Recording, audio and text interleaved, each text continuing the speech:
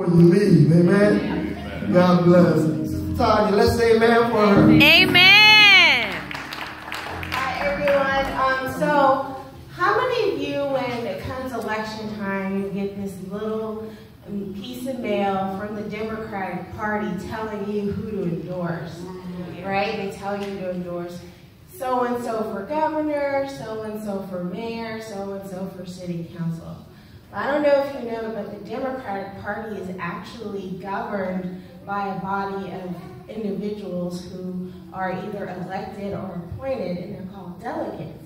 And the delegates go to conventions twice a year, and it's there that they decide who the Democratic Party endorses.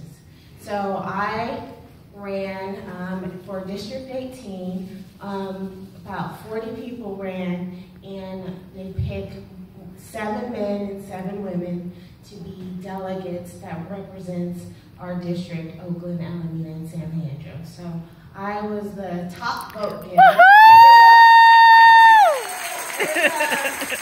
I think about 1,300 people showed up, and I got the most votes, and then people on down, um, the seven top women won, and the seven top men won. So I'm going to be going to the convention in May, and then another one in San Diego later on in the year. And so now you're hearing a lot of talk about all these presidential candidates coming up, right? So I'll, get to be one of the people in California deciding who California will endorse for president.